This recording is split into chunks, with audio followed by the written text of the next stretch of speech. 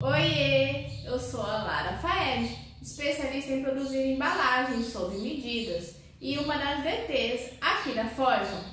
Nesse vídeo eu vou mostrar para vocês algumas opções de caixas que dá para a gente fazer com a Forja e vender o ano inteiro.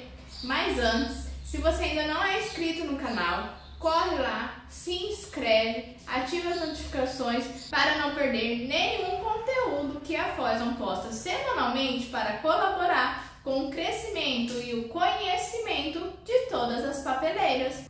Então, começando o vídeo falando com quais papéis eu trabalho aqui.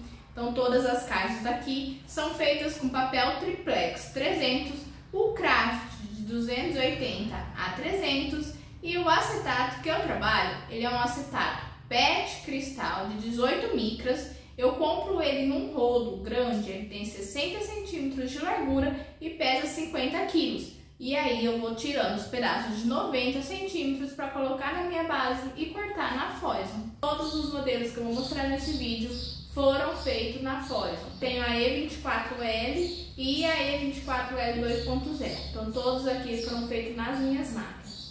Eu vou começar mostrando para vocês a caixa que eu vendo o ano inteiro, quase que diariamente eu tenho pedido dessa caixa. Ela é essa daqui, a caixa de quatro doces. Dá pra gente vender ela com o bercinho e também sem o bercinho. E daí as clientes usam a, a forminha de quatro pétalas.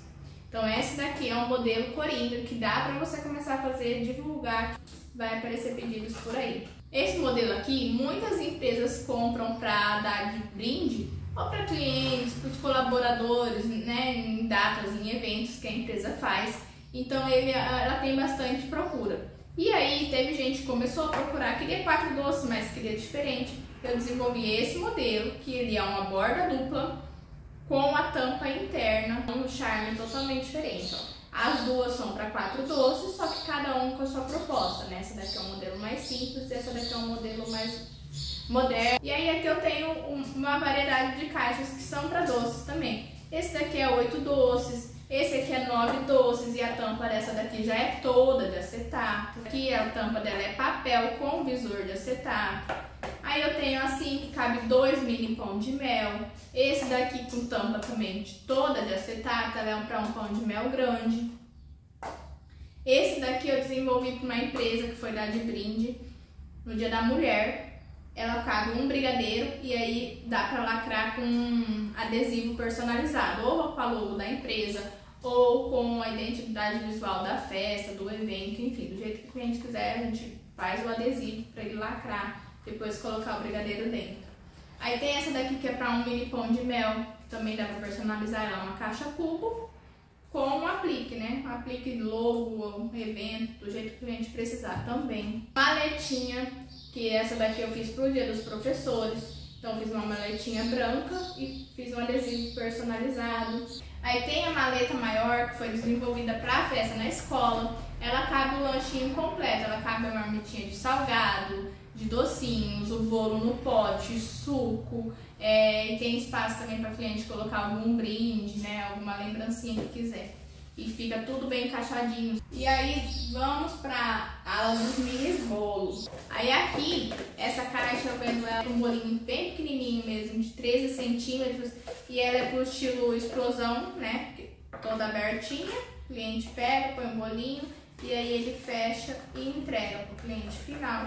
Aqui dá pra fechar ou lacrar com um adesivo aqui, ou fazer um laço ou, né, enfim.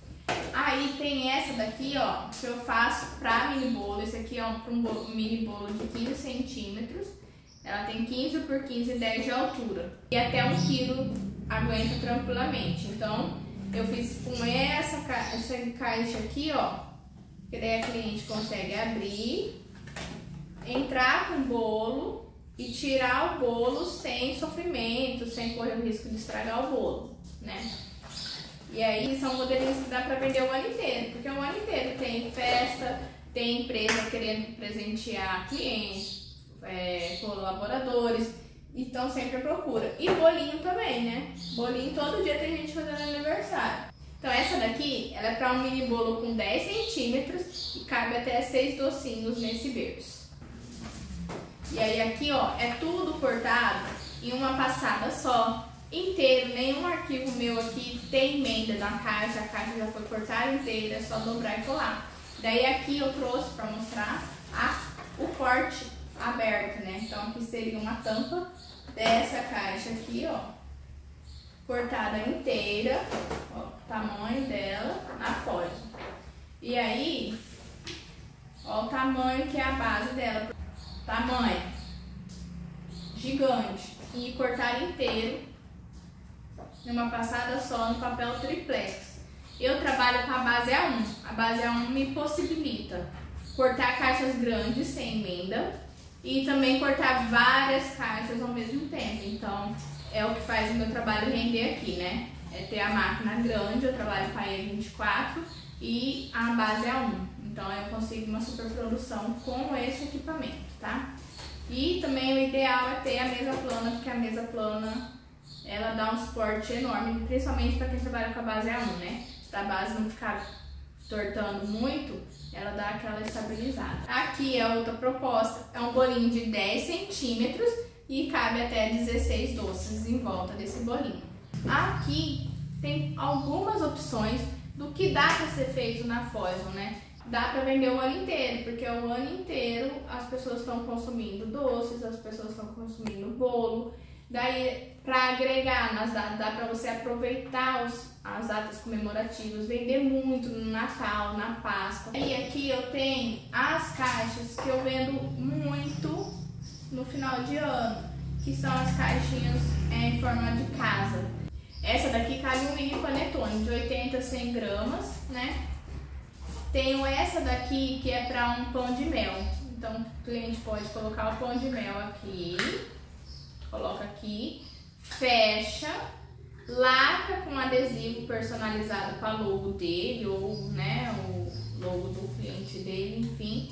Eu mando aqui com uma fitinha aqui e daí ela vai poder ser pendurada na árvore. Essa daqui dá pra você fazer kit de produto, né? Então dá pra fazer pão de mel, barratone, é, o que mais esses produtos menores, né? Cabe um mini panetone com mais algum produto. Então essa daqui é pra você criar um kit é, diferenciado e vender, né? Porque a gente sabe que o diferencial sempre chama a atenção dos clientes. Então se você quiser inventar, aí aqui. Aí tem essa daqui, ó, que esse ano passado eu vendi muito, esse ano ela vai estar no catálogo também. Essa daqui é uma caixa para panetone de 400 gramas. Ela já é toda no formato de casinha, já vai com a alça e também pode com opcional de já gravar a logo no lamicote, né? Aí eu tenho a caixa aqui de alcinha também, no formato de gaveta, que essa daqui tá com brinde para uma cliente, mas ela pode, e tem diversos tipos de produtos que dá para ir nesse estilo, né? Então, ó, gaveta, desliza super bem, perfeito, com alcinha totalmente feita na Foison. Eu tenho também essa daqui que eu vendo no, na Páscoa, ela é uma borda dupla, com a tampa interna, o berço pro ovo de 250 e também já tem a alça. É, é uma infinidade, aqui tá, tá assim um pouco do que eu faço, né? Mas é, é para apresentar para vocês um novo nicho, quem sabe quem está procurando, querendo sair de festa, querendo sair de casamento, procurando é, mais alguma coisa para colocar no portfólio, essas aqui são algumas ideias. Trabalhar com embalagem sob medidas é um nicho de mercado muito gratificante, porque a gente consegue atender os micros, os empreendedores, os empreendedores que procuram embalagem em tamanhos específicos para os seus produtos e que daí não conseguem, né? Porque a maioria das empresas pedem quantidade de 500, mil unidades.